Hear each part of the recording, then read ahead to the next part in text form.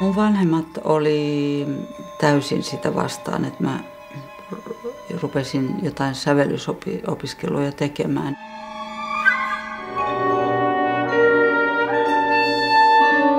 Sehän on Saariaho. Maanantaina yhdeksältä teemalla.